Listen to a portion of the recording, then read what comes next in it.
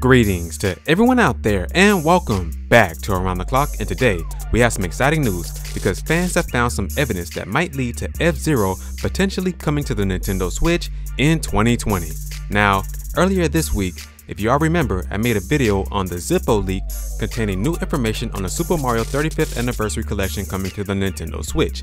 And within that video, I also made it aware that fans have discovered a brand new Twitter account for Super Mario 35th Anniversary. Now, at the moment, I didn't know if this Twitter account was actually real, it was probably fan made in my opinion, but at this point, this just may be real because Fans have also found a brand new F-Zero account which looks similar to the 35th anniversary Mario Twitter account. As you can see here, this is what it looks like. Now, neither one of these Twitter accounts are active at the moment, the F-Zero account as well as the Super Mario 35th anniversary, but what's interesting about this F-Zero Twitter account is that this was made back in March of 2020, so this has a little more credence than the Super Mario 35th anniversary one, and if this is indeed true and they have an F-Zero Japanese account that is not used at the moment, is not active, then I believe that a new F-Zero game will be heading to the Nintendo Switch this year.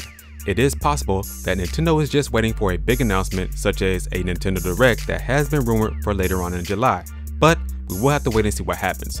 One thing I do know is that a lot, a lot of old school fans such as myself will be happy if another F-Zero game is announced and it is coming to the Nintendo Switch. It has been so long since we got a traditional F-Zero game and I believe it's been 15 to 16 years. Now, there is a F-Zero clone on the Nintendo Switch at the moment which is Fast RMX which is a fantastic game, but at the same time, it's not the same. We need a traditional F-Zero bring back the franchise Nintendo, and hopefully all this evidence leads up to a brand new game heading to the Nintendo Switch this year. Alright everyone, that's gonna do it for this video. What are your thoughts on everything that was discussed here? Please let me know down in the comment section below and if you like this video, make sure to hit that like button because it really does help out the channel and gives exposure to other people who do not know about Around the Clock.